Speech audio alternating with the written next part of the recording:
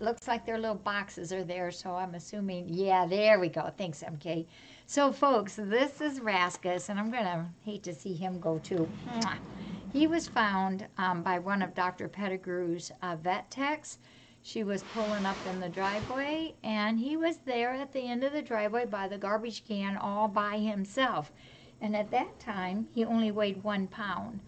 So um, he, we put him down, I believe it was at five weeks, and he arrived here May 11th. So he hasn't been here very long, but you know, it feels like he's been here for a, a long, long time because he's just fit right in. So yesterday we did do his neuter just a tiny bit early. He was 115, I think. He was one shy, one ounce shy of two. But in his case, um, he well had the parts, if you know what I mean. And um, they were very prominent. He says, but I was just a little baby. How could they be so prominent? So he's re- he was very ready to go. Dr. Darcy said, yeah, let's do him. And his mama to be is very, very excited to get him.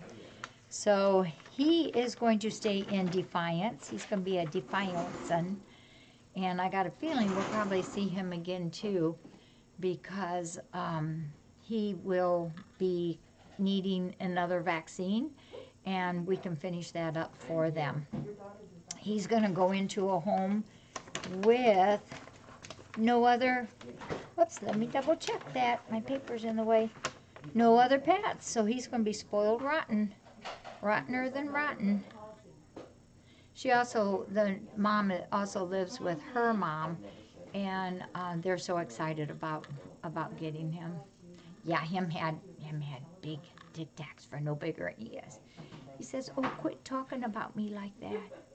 So Rascus came from Dr. P's, and they had initially went ahead and done the um, feline leukemia FIV test for us, and they also ran a fecal with a Giardia test for us uh, ahead of time, and that was also negative. So he's doing really good. All right, we're going to put him back in his bed and let him go nappy time.